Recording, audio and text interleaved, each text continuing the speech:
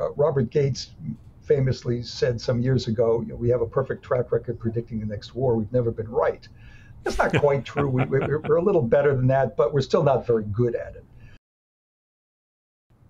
Hello, I'm Paul Johnson with the New Frontiers. Today, Professor Henry Thompson and I have a great guest, Colonel Mark Cancian. Now, Mark has been running a war game uh, with the idea of what happens in the event that China actually invades Taiwan. I think they've run over 24 different games today, and it's one of the few areas where you can actually gain a glimpse of how our military strategically begins to prepare in advance for what may happen.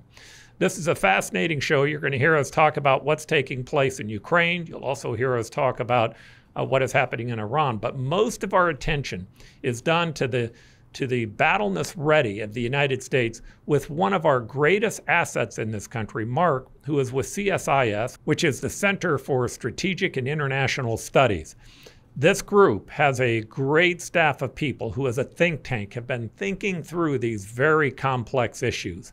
Now, I'm just an average optimistic American who believes that the United States is still a cause for good. But to be a cause for good, we're going to have to play a role in making certain that this country is prepared for the challenges that we're going to face. Now, if you like this topic and you want to watch the rest of it, push that subscribe button and let's go on with the show. Destiny. Destiny.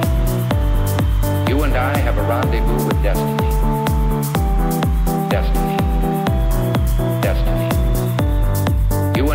A rendezvous with destiny. We choose to go to the moon in this decade and do the other things, not because they are easy, but because they are hard. Uh, well, Mark, first, I'd like to welcome you to the New Frontiers. Thank you very much for coming on. Thanks for having me on the show. All right, now, Colonel Cancian, I, you know, uh, I'm here with Professor Henry Thompson. Uh, we're really excited to talk to you today. Certainly, the United States is maybe in one of the most precarious positions that it's been in a long time. I, I like to try to make it analogous to it's almost a mixture of the threat we face with the Soviet Union along with the threat that we faced with the Axis powers. We have three major powers today, certainly China and Russia, with Iran being a third one. Uh, and then on top of that, uh, they are nuclear armed. And that creates an incredible amount of threats for the United States today and our ability to be prepared. There's maybe no one that I've listened to who knows more about America's battle readiness than, than you do. You ran an absolutely fascinating study, um, and it's one that's been released to the public, which is something that I haven't seen, but it was a war game between, or war game that kind of outlined what happened in the event that China uh, actually invaded Taiwan. So while I'd like to talk about maybe uh, uh, Ukraine and Israel a little later in the show, let's start with just talking about Taiwan and what happened in this war game. Would you explain the study to us in general? Sure, uh, and thanks for those uh, kind words.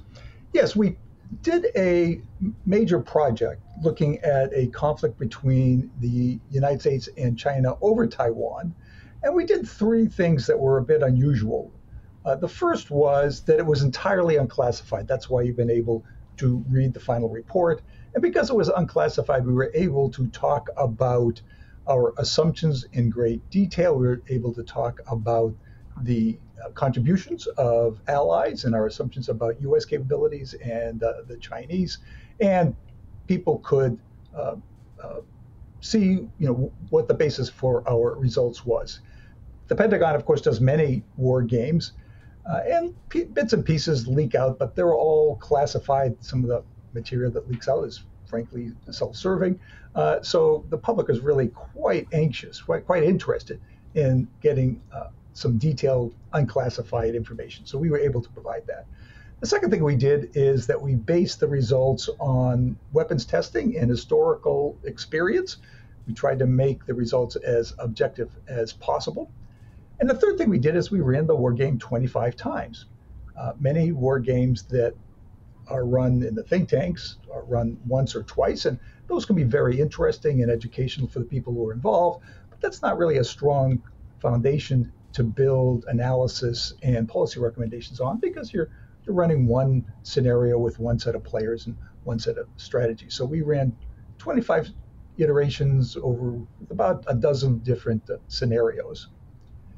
And the bottom line was that in most scenarios, the United States and its partners could maintain an autonomous and democratic Taiwan, but it would come at very high cost. We lose dozens of ships, hundreds of aircraft, and thousands of personnel. The Taiwanese economy is wrecked, but it also inflicts great damage on the Chinese. They lose, uh, they take very high casualties in their armed forces, and enough that it might endanger the uh, future of the Chinese communist regime. It's uh, very interesting, Mark. If you allow me to ask a question, in what way do you foresee the in the war game the Chinese regime being destabilized by the course of the conflict? We raised that as a possibility. We didn't investigate it in detail, but the main reason we did is uh, twofold. I mean, first, of course, the Chinese take a lot of casualties. They lose something like 100 ships, uh, many dozens of aircraft. But the biggest thing is that when their invasion of Taiwan collapses, the Taiwanese will capture 20 or 30,000 Chinese. And the sight of 20 or 30 Chinese POWs marching down the streets of Taipei as prisoners uh, might be more than uh, the Chinese regime could withstand. Of course, you know, Chinese regimes uh, still have this aura of, you know, the, uh, you know, the, um, um, you know, set up by a divine um, um, order, and you know, such an obvious uh, defeat might destabilize them. But as I say, you know, we, we left it right there. We didn't uh, look at uh, at the results in any more detail. I'm interested in just this concept of how you run a war game. Uh, is this something done on a computer with algorithms, or is it something with big maps laid out in front of you where you're moving ships around uh, by sticks? How does that actually work? What's it physically look like when you run a war game? Uh, it's the latter. Uh, this is a physical war game. So there were three maps and we're still running it. There are two operational maps, one for the Chinese and one for the U.S. This covers the Western Pacific, and then there's a ground map uh, that covers Taiwan. And there are about 800 counters. The uh, both sides move their uh, aircraft and their ships. Um, and on the Taiwan map, of course, they move their ground forces. And then we have t- lookup tables uh, to decide the results of uh, combat uh, there's a video, a couple of videos online. The Wall Street Journal just did a very nice one. So if people want to see what it looks like, uh, they can uh, take a look at the videos. And what about the decision to make the results and even some of the documentation of how the war game runs to make it public? Why did you decide to make it public? And are you hoping to get a certain resonance with the general public or with policymakers from doing that? What was your goal in doing that? the goal was to make the results accessible to a very broad audience. And we've been fortunate that that has occurred. And that audience includes both the general public uh, and decision makers here in Washington, D.C. It has been uh, briefed to you know, highest levels in the Pentagon. Uh, we went over to Capitol Hill many times. Many of the staffers are familiar with the work. Uh, and governments overseas, interestingly enough, have been very uh, interested. Also, of course, the Taiwanese, uh, essentially everybody in the Taiwanese national security establishment uh, has read the report. same in Japan. my two colleagues went over to Japan and ran the game at one of their think tanks, the Sasakawa Peace Foundation. And the Japanese were very, very interested. They did a one hour TV special, for example, on the game. And the reason Japan was so interested is not just that this is a major war in the Western Pacific, which of course would make them interested in any case, but that the result of the game was that a decision of, of war and peace for Japan would end up being made in Washington and Beijing and not in Tokyo. And, and that finding uh, was both disturbing and uh, got their interest. But we know that it was briefed at the highest levels of the Chinese uh, government, for example. Uh, many European governments uh, called us and asked for briefings. So it got a lot of international attention as well as attention domestically. Why does Japan end up playing such an important role in this process? The, Japan plays a hugely important role, which was something of a surprise. We, we knew that Japan would be very important. We hadn't appreciated just how important. And the reason is that the United States has a number of bases in Japan, particularly uh, uh, on Okinawa, the uh, Kadena Air Force Base. And those are the only bases where the U.S. can launch tactical aircraft from that can strike uh, Taiwan and in the waters around Taiwan at the Chinese fleet. The range of our fighter attack aircraft, F 35s, F 22s, F 15s, F 16s, is just too short to be based anywhere else. We can't fly out of Guam, for example. So if the United States doesn't have access to bases in Japan, all of the, those aircraft in which we've, we've invested huge amounts of money are essentially useless because they just can't get in the fight, and the United States has to conduct the fight with submarines and bombers with long range missile. And both of those are very powerful tools, but we need the full set of tools uh, to take on China. So Japan turns out to be critically important there. Plus the fact that if the J- Japanese get dragged into the war, which they usually do, they have powerful armed forces of their own that contribute importantly uh, to the uh, coalition capabilities. Do the results of this war game differ much from the results of other war games? You mentioned that quite a few of them are classified or they are only run once, they're not run the same way. But surely there's a kind of an aggregate inherited wisdom about how these war games pan out. Did your war game lead to really different conclusions to what people had found before? Um, I'm going to say yes and no. Classic uh, think tank answer. Uh, the the yes is that if you read press reports about Pentagon war games, you know th- that is those bits and pieces that leak out about the results of the uh, games, you would think the United States gets crushed.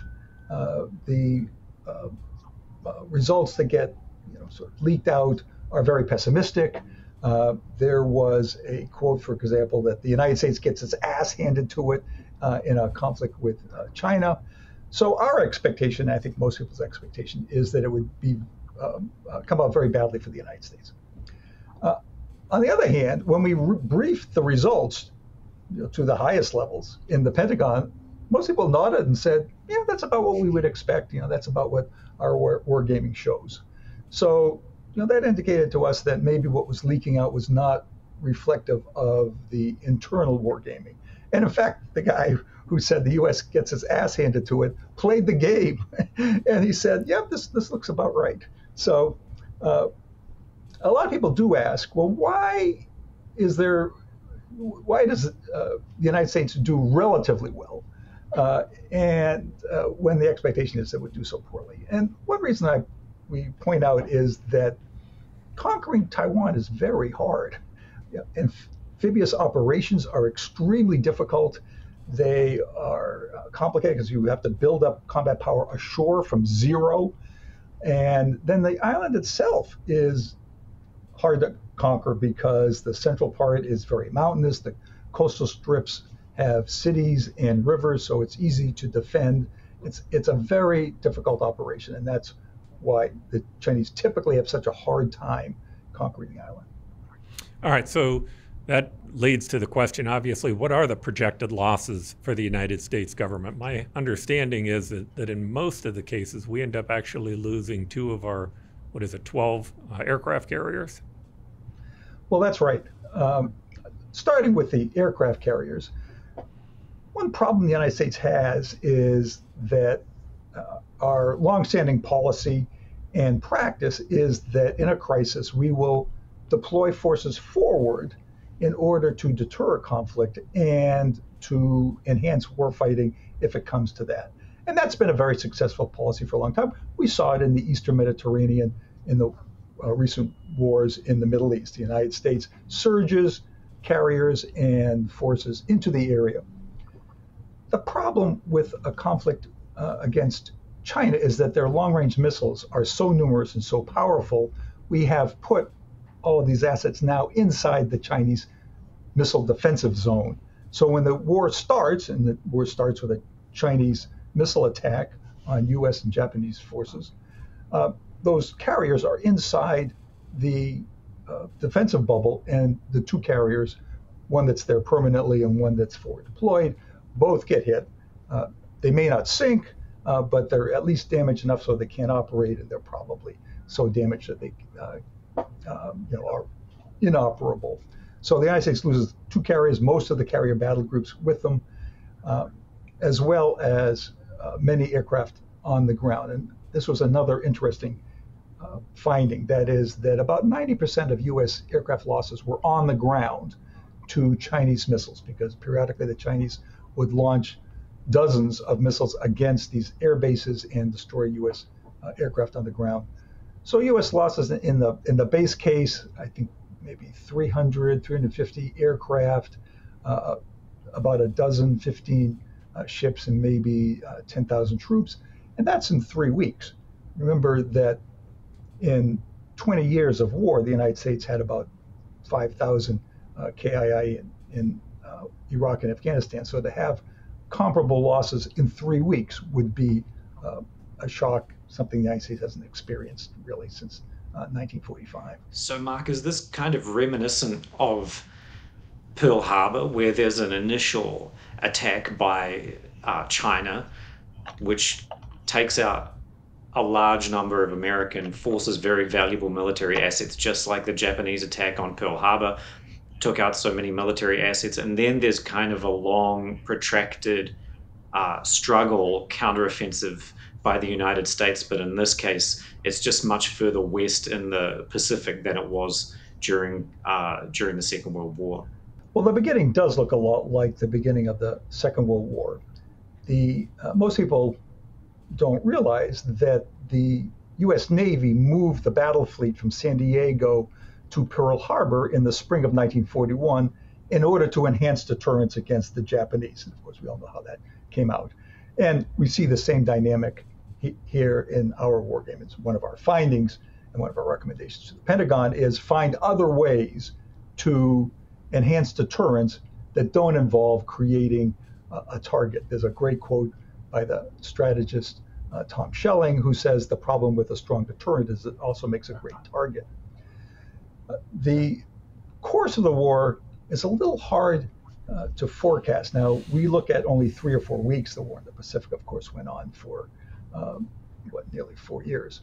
Uh, we only looked at three or four weeks. We'd love to do a longer war game to see uh, what would happen. One of the things we started to see in uh, the fourth week was that both sides start running out of their preferred munitions and out of many platforms. So they were having to adjust their tactics to uh, a different set of circumstances, a different set of weapons being available. Uh, we're hopeful that we're going to be able to have a chance to look at what you know what those dynamics are when you can't have uh, your preferred munitions, your preferred platforms. You're going to have to improvise. Kind of thing that we're seeing a lot in Ukraine. So you talk a lot a lot about deterrence. What type of recommendations have come out so far for the United States and Taiwan uh, to try and help create a deterrence that maybe stops this in the first place? We make a, a variety of recommendations because we note that even though the United States and the coalition prevail, the cost is very high. And it's worth, therefore, deterring the conflict or ending it more quickly if, uh, if, it, if, it, comes uh, to a conflict. Uh, we make about, know, about a dozen uh, recommendations. For example, uh, we recommend that the uh, U.S. Air Forces in the Pacific uh, build more hardened shelters and look more at dispersal. Now, the U.S. Air Force is doing a lot of work with dispersal. They have a concept called the Agile Combat Employment, where they would disperse aircraft to other uh, airfields that's uh, moving in the right direction. Uh, and we say, keep moving in that direction, expand your vision there. Uh, but they are not building any hardened shelters. There are no hardened shelters, for example, on Guam. So when the Chinese uh, attack with submunitions, the United States loses hundreds of aircraft. So we argue you need to build more uh, hardened shelters. We um, one thing we recommend is that before the war, the United States uh, decide how uh, what deployments it's going to make. In other words, if you talked to uh, officers in the Marine Corps and in the Army, uh, they say, well, before the war begins, we expect that our troops will be on Taiwan. If you talk to people in the White House and, and State Department, they say there's absolutely no way we are going to send forces to Taiwan during a crisis because that will precipitate the war that we're trying to avoid. Uh, one of our recommendations is, you know, those are both defensible positions, but they are not consistent. And it'd be much better to have threshed that out now rather than to do it in the situation room when the fighting uh, has begun. Another uh, recommendation is about expectations. And uh, this applies mostly or, or, uh, most strongly to the Navy and the Air Force because they have operated in sanctuary ever since the end of the Second World War. Uh, the Air Force operates out of bases that are uh, fortified and essentially pretty safe. The Navy has been offshore where there hasn't been a, a Navy to oppose them. It's going to be very different in a great power conflict. Now, the leadership of both services understand that a great power conflict will be different, and they said that many, many times. The problem is that the lived experience of the officer corps is regional conflicts Iraq, Afghanistan, even the Balkans.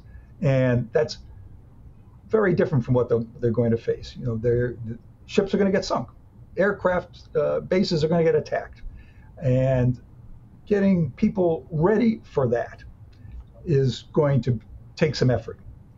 The example we use in the report, and we've used many times around town, is follow-on forces that are arriving at Kadena Air Force Base on Okinawa. These uh, aircraft are going to land on a very bumpy runway because the Chinese have struck the uh, runway many times and it's been repaired. They're going to taxi past literally hundreds of wrecked aircraft that were caught on the ground. They're going to move into an empty barracks uh, because a squadron that came before them has been wiped out in the previous uh, uh missile attacks. Uh, the hospital is full of wounded. The golf course has been turned into a cemetery, and they're going to be told, "Welcome to Okinawa. Tomorrow you fly over Taiwan." And the Air Force has not had an experience like that since you know, maybe 1944, maybe 1943. Yeah, very reminiscent almost um, of the Battle of Britain. Uh, that description uh, made me think of the young cohorts of British fighter, fighter pilots coming into the, the bases in southeast England uh, during the height of the Battle of Britain. But uh, a lot of the things you mentioned about deterrence, Mark, really brought uh, Ukraine to mind and I think Paul has more questions about similarities to Ukraine. Something that struck me was your uh, discussion of running out of munitions. This is something that's happening in Ukraine as we speak, that the Ukrainians are trying to substitute drones for uh, heavy artillery. But just as an um, initial question on the conflict, what lessons do you draw for your war game from the failure of American deterrence in Ukraine? The biggest thing is that stuff happens. Uh, we argue that uh, war, conflict is not inevitable, but it is possible given Chinese rhetoric and its military buildup. And what we've seen in Ukraine is that wars happen, even though we might think, as outside observers, that going to war is not a rational act. Other countries, other leaders, weigh circumstances differently from us. They may uh, misjudge the military balance. They may believe that uh, time is against them and they need to move now. Uh, they may be just insulated from getting a, uh, clear sense of uh, other countries' reactions. There's a great book that just come out uh, in the last, I know, a couple of months about Iraq and about Saddam Hussein. Now that we have access to much of the archives there, uh, and making the point that you know, that uh, Saddam had all this information. You know, he was just not thinking the way we thought he should be thinking, and that could certainly uh, happen in the future. One of the uh, lessons we point to is the Japanese before World War II. Now, our analysts looked at Japan attacking the United States and said, you know, this does not make any sense. You know, we are just so much bigger. You know, they cannot win a war against the United States. And the Japanese agreed. You know, they knew that they were outclassed, but they felt that because of the American embargo against oil and the balance of power moving against them, that they needed to move now. So they made a very risky decision to attack Pearl Harbor, hoping that the United States would um, essentially give up after uh, six months. Uh, so they knew it was risky, but they did it anyway. And uh, so one, one of the, I think the big lessons we learn is that stuff happens, and you have to be ready for events that you uh, are not expecting. Mark, I'd like to ask another question or two. I have a related question because stuff happens absolutely, but the United States also tried pretty hard to deter Russia and thought they could deter Russia uh, back in early 2021 before the invasion of Ukraine. But it seems to me a couple of things jump out at me from that failed attempt. The first was this uh, widespread intelligence sharing by the Biden administration that they thought by uh, sharing a lot of details about Russian troop movements along the Ukrainian border that they would somehow uh, call the Russians bluff and say, listen, we know what you're up to, and they therefore wouldn't invade. That failed. Uh, another thing that jumps out at me is there was some rhetorical uh, ambivalence on the part of the Biden administration. I would say, in particular, this uh, statement by President Biden about a limited incursion that would not uh, be punished as harshly in the case that it happened, which I think was pretty destabilizing for the Americans' deterrence attempts. And the third major factor is their reliance on economic sanctions and the thought that economic sanctions would uh, be sufficient to punish the Russians to deter an attack. And um, that also seems to have been a complete miscalculation. So I'm wondering whether those are options that you sort of had on the table during your war game, but you subsequently took them off the table because they just were such uh, abject failures in the case of Ukraine, or or just in general, what your uh, thoughts are on the on the failure of deterrence uh, by America and Ukraine. Yeah, let me talk particularly that first point about uh, intel, uh, because in our war game, you know, we start with the assumption that uh, the Chinese leadership has made a decision to attack, and you know, for a variety of possible reasons, but we're, we're, taking we take that as a starting point. So we don't engage on the question of uh, sanctions. Although what you say is absolutely true. You know, we thought that sanctions were going to be much more powerful and much more persuasive than they seem to have uh, turned out to be. You know, the question of intelligence is very interesting because, uh, you know, in 2003, of course, it was tremendous intelligence failure about uh, WMD and Iraq. Uh, with Ukraine, intelligence was spot on. you know, we we could see what was happening. Uh, we uh, the intelligence community got it right. Uh, but as you say, uh, despite the fact that the Biden administration was running around saying, you know, we see what you're doing, don't do it, they did it anyway. Um, um, it's interesting because there had been a strategic theory before the war, uh, which was called deterrence uh, by, I think it was called, they called it information operations. Uh, you know, that is the idea that, you know, our intelligence and our uh, forward deployed forces would see what was going on. And by that, we, by that knowledge, we could force potential adversaries to, we could deter them, you know, uh, from doing whatever they, was going, they were going to do. And there was, you know, that idea got a lot of uh, attention uh, and of course, abject failure. And now you don't hear anything more about that. Okay, we've learned our lesson uh, on that one. Did it, Mark? Did it rely on a kind of a shaming? The, the the the actual mechanism was sort of shaming the the adversary before uh, the act. Was it, that kind of the mechanism behind it?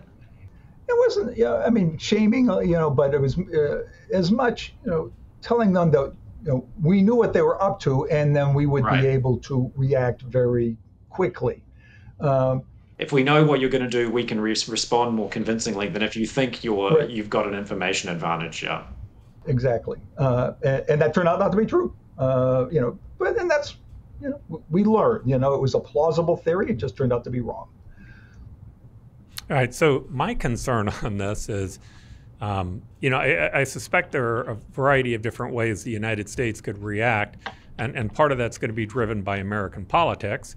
Uh, certainly in the political realm, there's an isolationist movement that's going on inside the United States. Maybe that becomes stronger.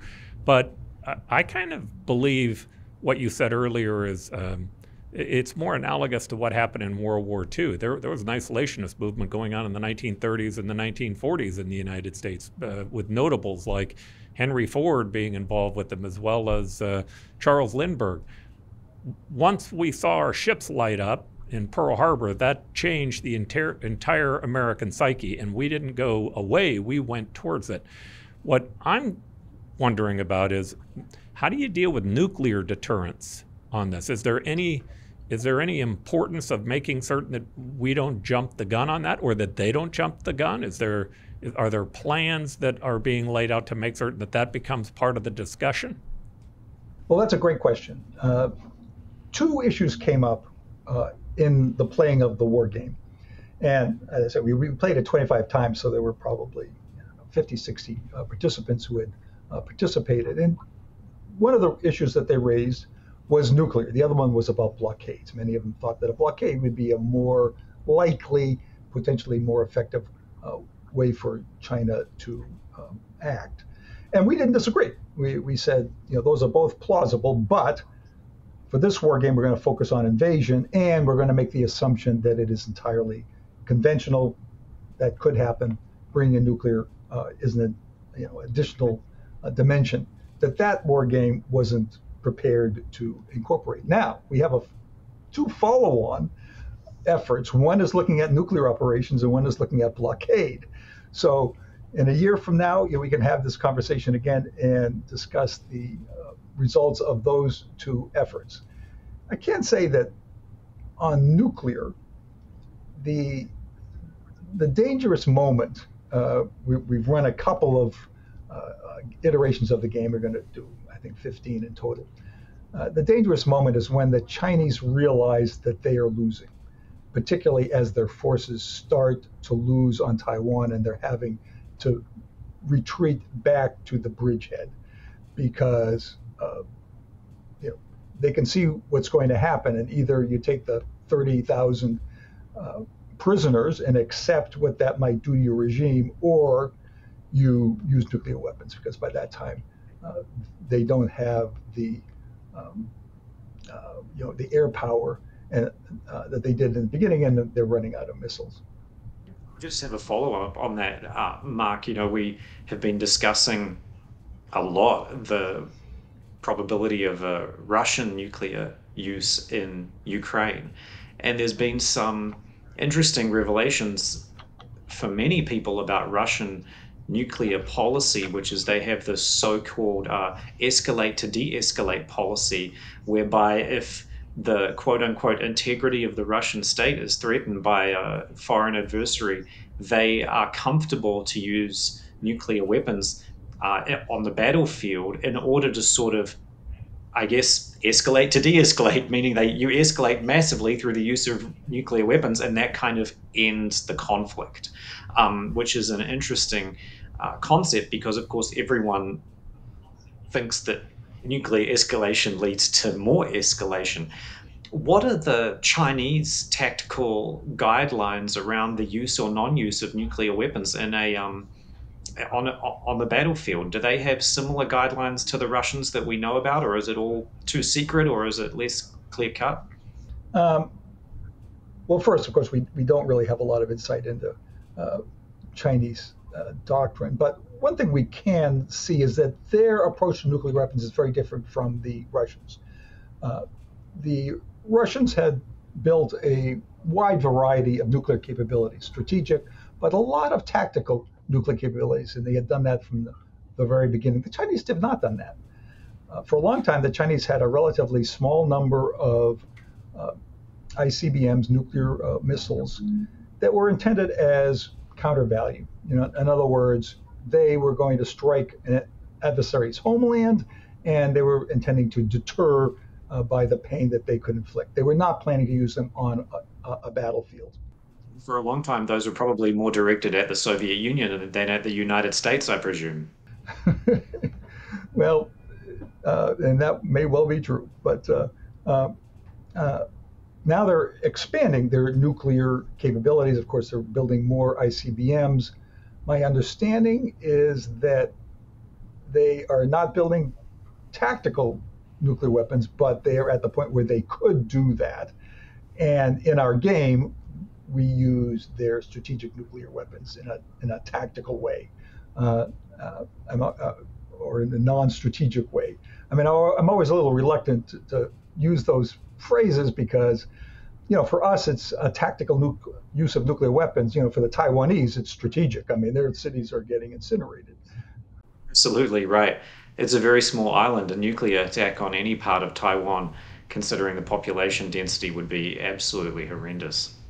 Uh, it is, and you know we've done calculations uh, on that, and one of the problems, again, just judging from the first couple of games we've done, is you know the Chinese player figures, all right, if I'm going to use nuclear weapons, I'm going to use a number of them. You know, there's no point in just using one uh, to get a battlefield advantage. So, uh, you know, they use three, four, five, 300 kiloton uh, weapons, and you know that does tremendous damage to the Taiwanese army, but also to many civilians.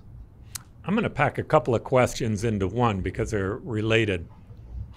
Um, a- again, it seems as though we have at least three spheres of war, uh, or, or certainly spheres of influence the Chinese uh, in Asia, Russia in Europe, as well as Iran in uh, the Middle East.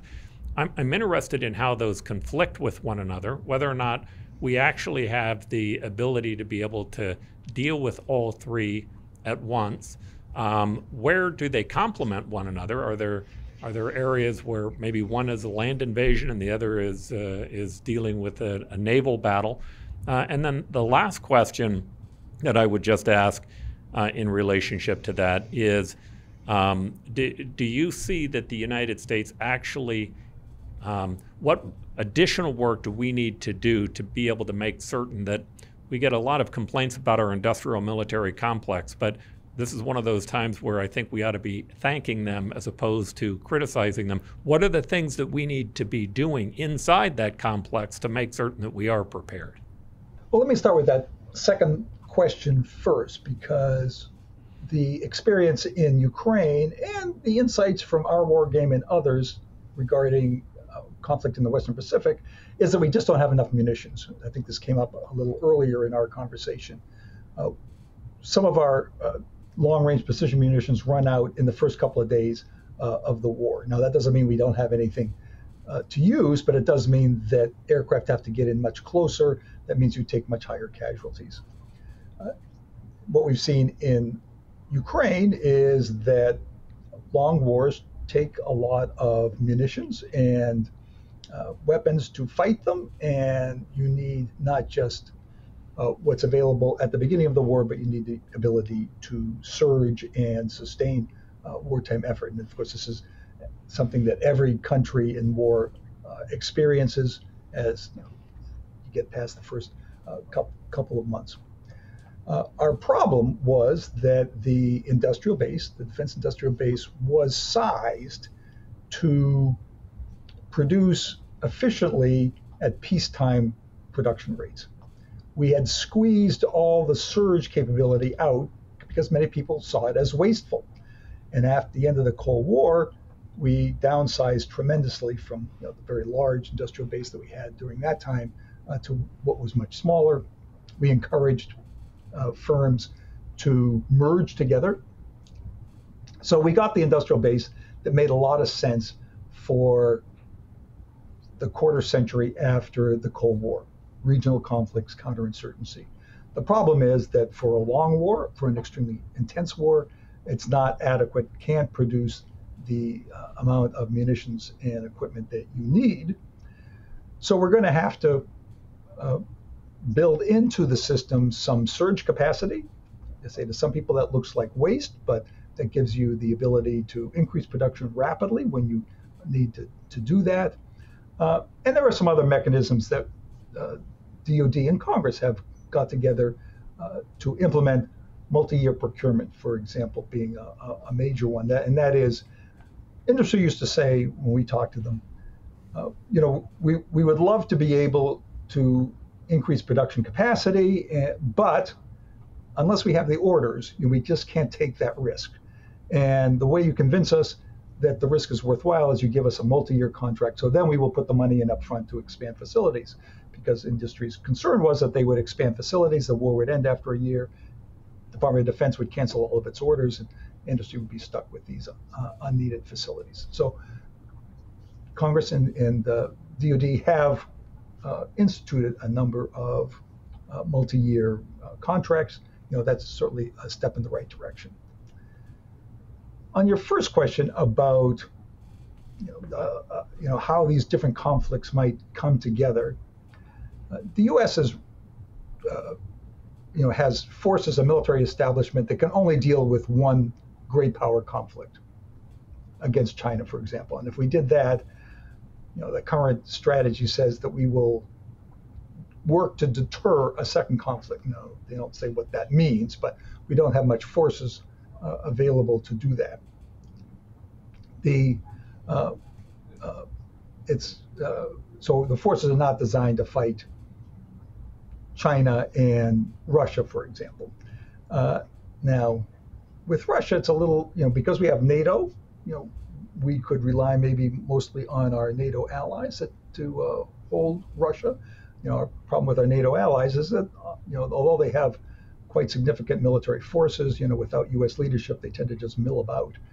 Uh, a, a conflict of China and North Korea which is conceivable, would be a huge problem. Uh, now, the only thing that would help a little is that Korea would be mostly a ground fight, whereas China is mostly an air and maritime fight. Still, you know, that would put you know immense um, strain on U.S. Uh, resources. So basically, you know, we're we're a, we're a one war or one major war uh, uh, military establishment. Is there a possibility of changing that? And if we were going to change it, what would it take? Should we change it? I, I think it's.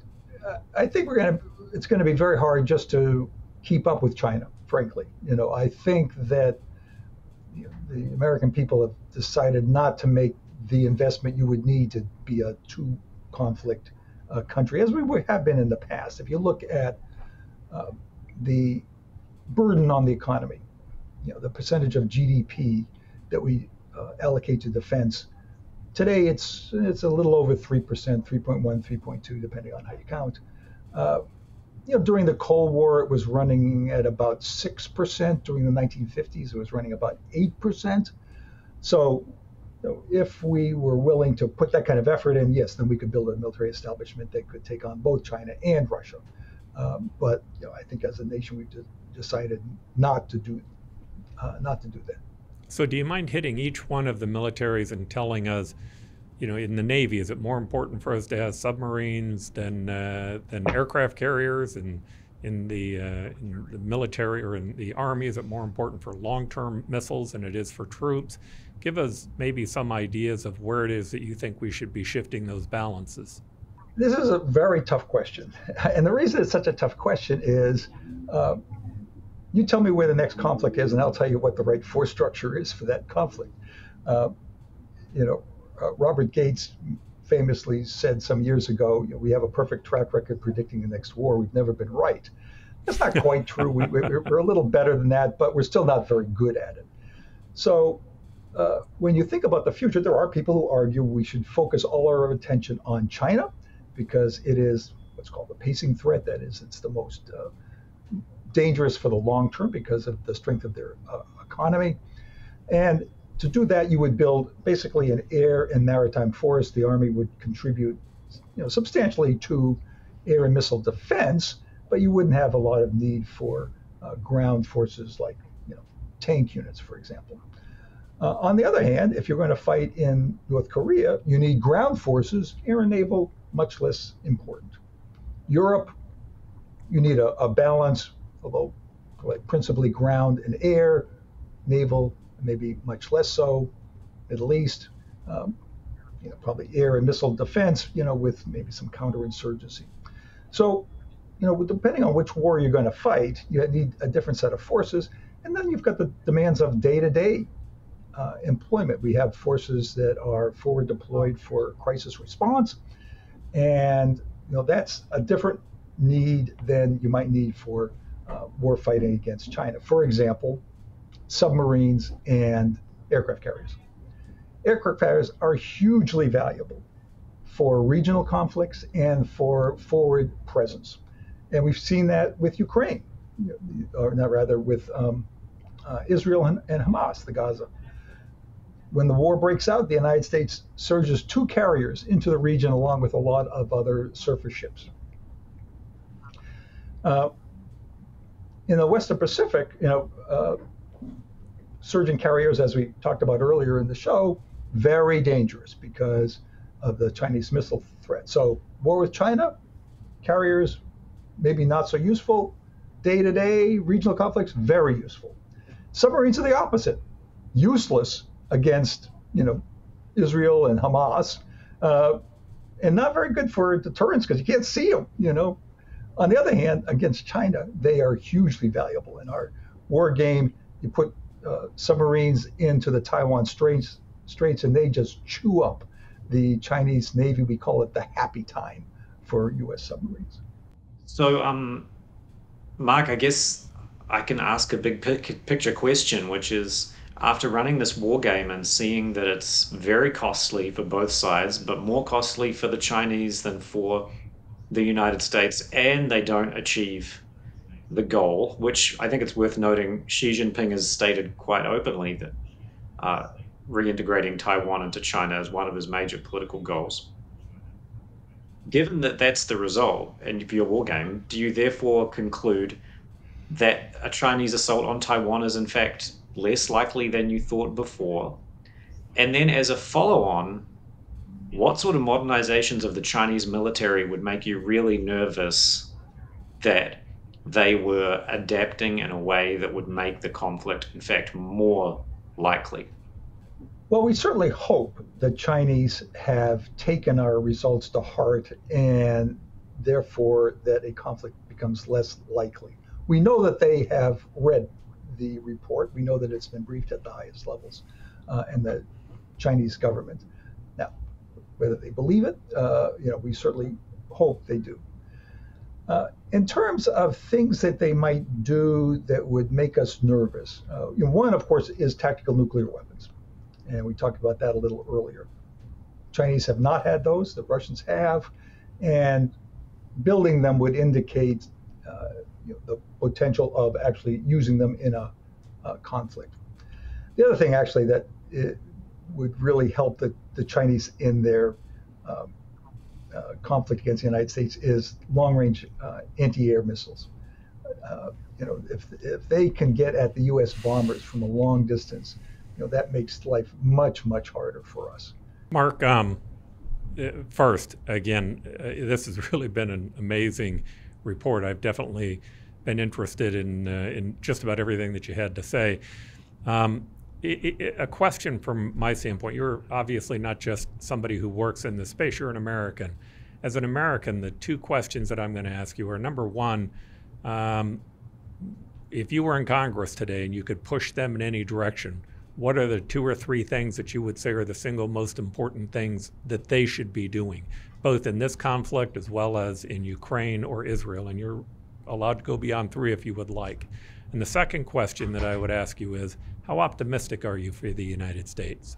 On the first thing, what I would tell Congress is that if you want the strategy that the Biden administration has articulated, which is very similar to the Trump administration, which is very similar to uh, late Obama, then you're going to have to pay for it. In other words, you're going to have to provide the defense resources to implement that strategy. And when I say uh, the Biden administration's strategy, I'm saying you know, this is a strategy that is connected to allies and partners, that has strong forward presence for crisis response and deterrence, that um, modernizes nuclear forces, that maintains an all volunteer force uh, uh, and compensates you know, service members uh, so that the military can compete uh, in the civilian uh, economy, and that has a force that has global capabilities. And we're seeing that, for example, uh, right now in Gaza. You know, the United States is going to build a temporary harbor 6,000 miles away. The United States is the only country in the world that could do that. And we can do it because we have this military establishment. Uh, it wasn't designed to do uh, uh, a uh, temporary port in Gaza, but because we have these capabilities, we, we can do that. Uh, there are other strategies that the United States could adopt that are less expensive. You know, we could, for example, tell the Europeans, uh, you guys are rich, you guys have large armed forces, and you guys should defend Europe, and that includes deterring Russia. You know, we'll, we'll still be part of NATO and we'll back you up, but you guys have to take uh, the primary role. Um, uh, we could, you know, tell the same thing to our um, uh, Eastern allies. You know, we could tell the, uh, you know, the Taiwanese, you know, you know, being part of China is not that bad. Um, but we have decided not to do that. And because we've we've got to put the money in there. So you know notions about you know we're going to you know cut the fence. We're going to uh, as maybe part of some uh, broader discretionary cut. I'd say that's fine. Change the strategy to fit the dollars then. The other thing I would say is Ukraine is a great deal for the United States. Uh, and the reason I say it's a great deal is you know, the Ukrainians are weakening one of our primary global competitors, that is Russia, and they're doing it without any U.S. forces on the ground. Uh, all they want is the equipment to fight the war, uh, and uh, Russia is becoming much weaker as a result. This is a great deal for the United, for the United States, given that uh, um, you know the long-term tensions uh, with uh, Russia. Plus, you know, Russia. Plus, we're making a point that countries just can't invade other countries because they want to grab their uh, territory. You know, that would be very destabilizing. And if the United States does not continue to provide aid to Ukraine or in support of the war, you know, we're going to have another one of these humiliating retreats, like as we saw in Afghanistan. And if we have two such retreats in a decade, how many countries around the world are going to look at us and say, "Hey, you know, you can count on the United States to be there when the chips are down. No, the other kind of figure is that, you know, when the going gets tough, the Americans are going to bail out.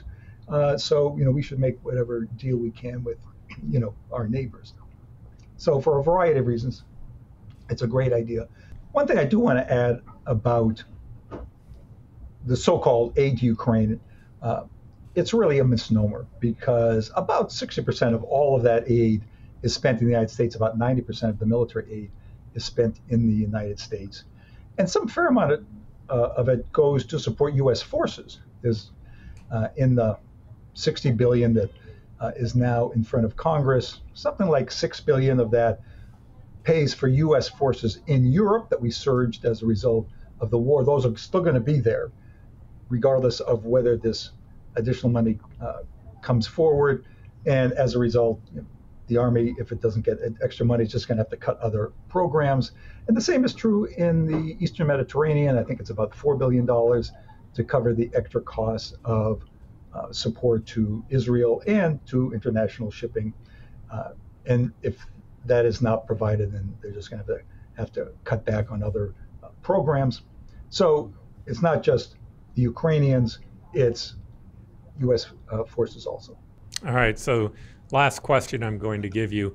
Um, again, I, I, I, feel very fortunate not only to have you on the show, but to have you working uh, in the Institute, uh, helping our United States government, uh, trying to make certain that we are prepared.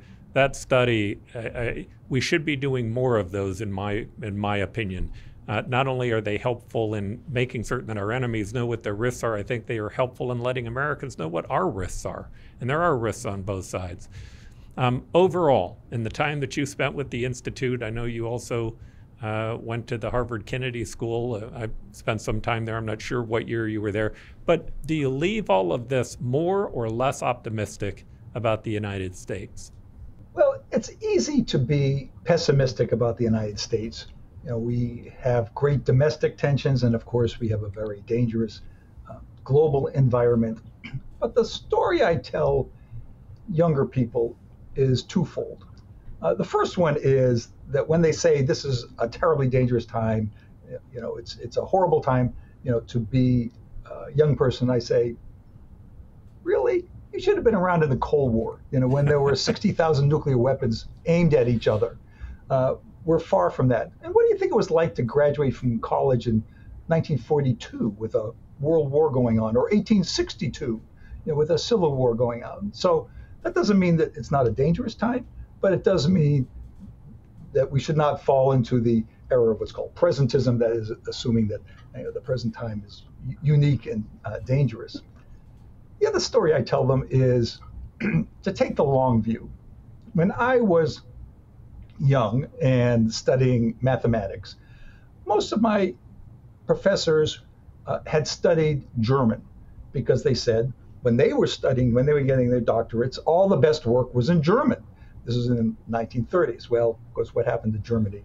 Uh, you know, the Thousand Year Reich uh, was destroyed. And then later, when I was in college, uh, it was the Soviet Union, and the Soviet Union had purportedly discovered, you know, this new um, way of organizing an economy. You know, there was a command economy. They squeezed out all the inefficiency of capitalism, and you know, if you if you took your um, lines just right, you know, and you and you adjusted them, you know, you could have the Soviet Union overtaking the United States in 1984. Uh, and of course, where is the Soviet Union now? You know, it's on the ash heap of history. and then in 1980s, it was the Japanese. You know, the Japanese had discovered, you know, just-in-time uh, manufacturing. Uh, they were uh, an economic powerhouse. You know, they were uh, books about how the Japanese were no longer content to be number two. Uh, and where are the Japanese now? You know, they're in the second decade of their, um, you know, their stagnant economy. So now it's the Chinese, and the Chinese, powerful economy. they really have done wonders, but uh, this is a marathon, and you know, given uh, U.S. track record, you know, I I wouldn't bet against us. Yeah, I agree with that, and you know, I, I think uh, being optimistic doesn't mean that you overlook the challenges that we have. In fact, I think one of the reasons we can be optimistic is because there are groups out there who are pessimists who are constantly looking at what we need to do to improve. Those things end up being symbiotic. Uh, Colonel Cancian, thank you so much for being on our show. Thank you for all that you're doing. And if we can ever be of help, let us know. That was great. Thank you. Mark, it was great to meet you. Well, thanks so much for having me on the show. I, I've enjoyed our time and I hope it's interesting for your listeners. Gentlemen, thank you. Well, again, I'd like to thank Colonel Mark Cancian uh, for that great report, as well as my partner, Professor Henry Thompson. If you like what it is that we're doing, push that subscribe button. Make certain that you stay optimistic, and thanks for being with us here on the New Frontiers. And we stand today on the edge of a new frontier, the frontier of unknown opportunities and perils. It holds out the promise of more sacrifice instead of more security. The new frontier is here. You and I have a rendezvous with destiny. We'll preserve for our children this, the last best hope of man on earth, or we'll sentence them to take the last step into a thousand years of darkness.